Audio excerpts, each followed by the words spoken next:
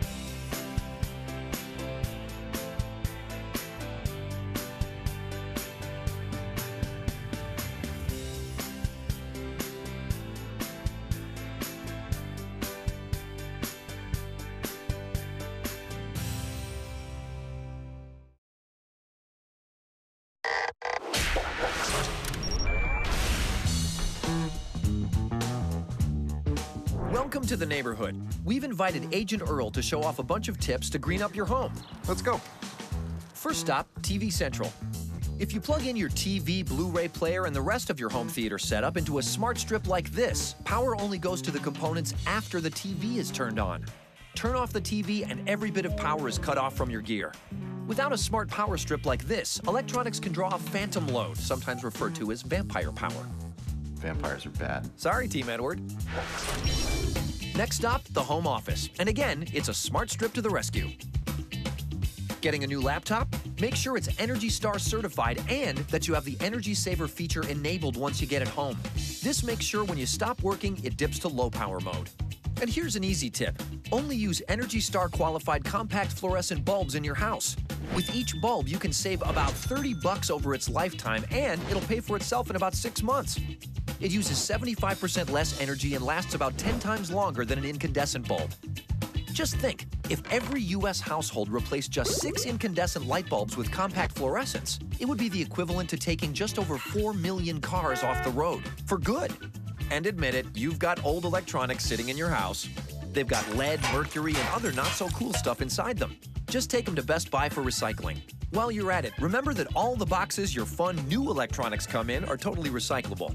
And this stuff, called polystyrene, is recyclable too. Earth911.com is a great place to locate recyclers of polystyrene where you live.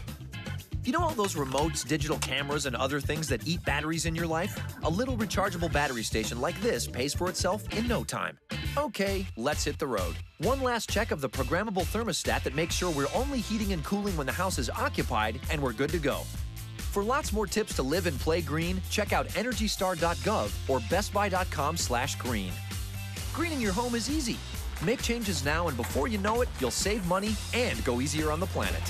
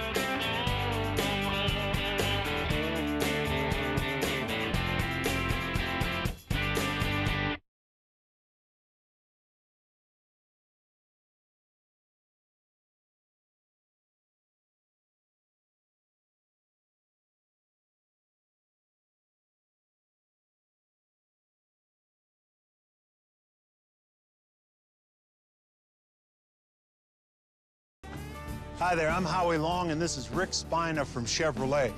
Rick knows a whole bunch about trucks, and in particular Chevy trucks, which is a good thing, because today we're going to put the Chevy Silverado HD up against the competition head to head. What do you got, Rick? Hi, how you doing? George, fill Howie in on what's going on here. All right. These are all one-ton heavy-duty trucks, and the trailer behind us is loaded to 16,500 pounds. That's over eight tons, and that's a lot of weight. The, the reality is, is both the Silverado HD and the Ford Super Duty will handle even more. But we limited the weight to 16,500 pounds because the Ram, that is all it can handle. You know, Silverado HD is rated at over 10 tons worth of towing. The max towing capacity is 21,700 pounds. I told you it's going to be fun. All right. Okay, so now we're headed up the hill.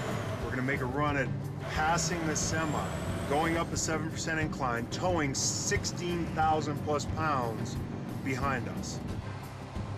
Get it done. marker. Okay, coming up the passing marker. Here we go.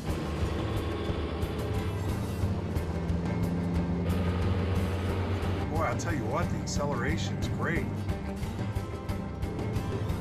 We're blowing by the semi. Okay, here we come. We've got that big snow plow with the blinking lights up ahead. Are we gonna make it?